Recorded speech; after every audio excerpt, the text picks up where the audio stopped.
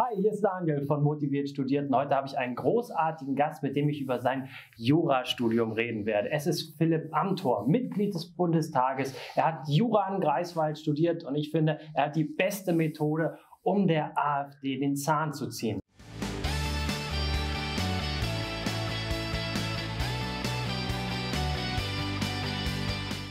Und heute möchte ich mit ihm darüber reden, warum du dich für ein Jurastudium entschieden hast und warum sich jemand anderes dafür entscheiden sollte.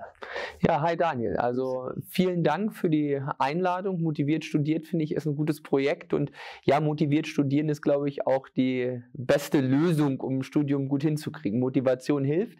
Ich hatte für ein Jurastudium immer eine Riesenmotivation, weil ich finde, dass es eine tolle Disziplin ist, wo man wirklich viele Berufsfelder erschließen kann. Als Jurist lernt man vor allem logisch strukturiert zu argumentieren. Und äh, es gibt, ich meine, tolle Berufsfelder vom Rechtsanwalt bis zum Richter, bis zum Staatsanwalt, die klassischen Berufsfelder, aber eben auch Verwendung in der Wirtschaft, in der Wissenschaft. Und das fand ich immer gut und spannend. Und äh, ich habe mich ja immer fürs Jurastudium entschieden und ich habe auch immer gesagt, ich will als Beruf nicht Berufspolitiker werden. Politik ist für mich kein Beruf, sondern Jurist. Mhm. Das ist das, was mir wichtig ist. Und deswegen habe ich super gerne in Greifswald Jura studiert. Was musste man als Jurist mitnehmen, um überhaupt das Jurastudium erfolgreich abzuschließen? Was ist so das, was jemand können muss, wenn er dann sich für ein Jurastudium entscheidet. Naja, es gibt ja oft so das Vorurteil, man würde als Jurist Gesetzestexte auswendig lernen oder sonst was.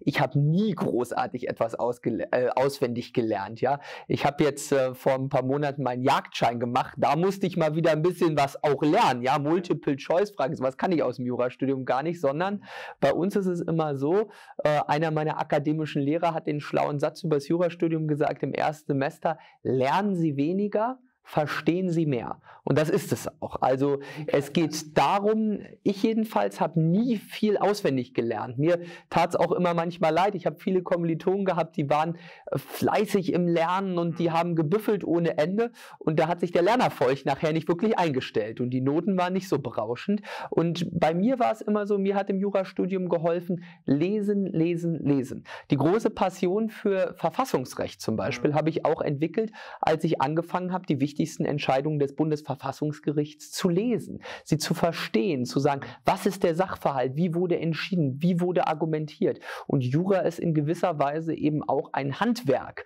wo man sagt, da geht es auch darum, dass man Methoden versteht und gut und logisch argumentiert. Und wenn man fragt, was muss man mitbringen, dann glaube ich, sind zwei Fächer in der Schule besonders wichtig, die immer oft als gegensätzlich gelten. Ich würde nämlich sagen Deutsch und Mathematik. Äh, ja, beide, äh, weil in beiden ist ein Punkt nämlich wichtig. Deutsch braucht man zuallererst, und das ist vielleicht auch das Wichtigste, man muss präzise und gut mit Sprache umgehen können. Als Jurist muss man es auch schaffen, also mit Sprache zu argumentieren. Das ist im Prinzip, wenn ich in dem Handwerksbild bleibe, ist eben Sprache unser Werkzeug. Und mhm. damit muss man gut umgehen können. Und ja, mit Mathe, das überrascht jetzt vielleicht, dass ich es sage, weil ich habe das immer wieder auch gehört, viele sagen, ja, ich habe Jura studiert, da ist nichts mit Zahlen und mhm. es gilt ja immer der Satz Justitia non calculat justitia rechnet nicht. Und sicherlich rechnet sie auch nicht, aber wenn man Mathe gut kann, glaube ich, liegt das vor allem daran, dass man abstrahieren kann und dass man gut darin ist, sozusagen eine logische Gleichung aufzubauen. Und am Ende, sage ich, eine gute juristische Argumentation ist am Ende auch immer wie eine mathematische Formel. Ja, da muss man es auch schaffen, kleinteilig zu zerlegen, logisch stringent zu argumentieren. Und man kann jetzt sicherlich auch ein guter Jurist sein, wenn man nicht die berauschendsten Mathe-Noten hatte. Aber ich glaube, wenn es darum geht, welche Kompetenzen man mhm. lernt, dann sind die Kompetenzen aus Deutsch und aus Mathe besonders wichtig, weil man muss gut mit Sprache umgehen können, man muss logisch denken und argumentieren können und ansonsten Geschichte und Politik äh, als Fächer schaden sich ja auch nicht, weil ein allgemeines, auch politisches Interesse äh, ist sicherlich nicht schädlich, weil ein Interesse an Staat schon wichtig ist, weil Recht ja immer staatsgemacht ist. Was kannst du dazu sagen, wenn jemand vor der Entscheidung steht, an welche Uni ich gehen soll? Ist die Uni überhaupt wichtig? Oder äh, was kannst du dahinter sagen, was für jemanden hinterher am besten ist, um dann sozusagen seinen Traumberuf zu bekommen? Also ich stand ja selbst vor der nicht einfachen äh, Frage, welche Universität wähle ich. Und ähm, ich hatte ja ehrlicherweise erst überlegt, an eine der renommierteren, größeren äh, Universitäten zu gehen. Heidelberg, Heidelberg? zum Beispiel, äh, München, die Humboldt-Uni in Berlin ist, finde ich, auch sehr gut. Und ganz oben mit auf meiner Liste war zum Beispiel auch die Bucerius Law School in Hamburg, ähm, die eben eine private Hochschule ist. Aber letztlich war für mich dann äh, entscheidend, politisch auch hatte ich mich damals schon engagiert und Angela Merkel selbst hat mir damals gesagt, Mensch, äh, wieso ja. bleiben Sie nicht eigentlich bei uns in Vorpommern? Das äh, ist doch auch eine gute Sache.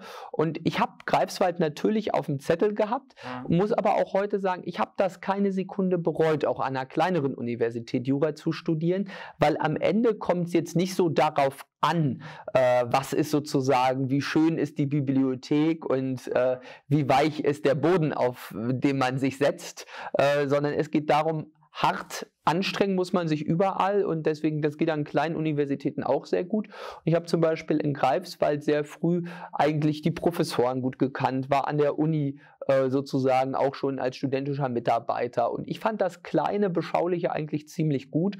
Und am Ende ist es im Jurastudium auch so, es ist nicht nur entscheidend, an welcher Uni man ist, sondern dass man eine gute Staatsexamensnote erzielt. Das ist das, was schon wichtig ist. Und das kann man vor allem, indem man Jura versteht. Und ich glaube, man merkt dann sehr schnell in Gesprächen nicht an welcher Uni irgendjemand war, sondern ob er Jura kann oder nicht. Hast du jemals Nachteile bisher davon gehabt, dass du jetzt nicht an einer der großen Renommierten warst, sondern jetzt in Greifswald? Also ganz ehrlich. Also für mich persönlich war es im Grunde nie so, weil ich schon immer eine gute Wissenschaftsvernetzung auch hatte. Also ich bin schon ja als Student auch oft dann auf Tagungen gewesen und habe da in der Wissenschaft auch einen Austausch gesucht. Und Greifswald ist ja innerhalb der Rechtswissenschaften ein recht bekannter Ort und ich würde mhm. sagen innerhalb Ostdeutschlands mit jedem Fall eine der besten äh, Fakultäten für Jura äh, und auch ansonsten ganz vorne bei bei den kleineren. Ähm, und viele sehen das auch als sympathischen Standort und am Ende schadet das auch nie. In der Wissenschaft hat mich sozusagen das Studium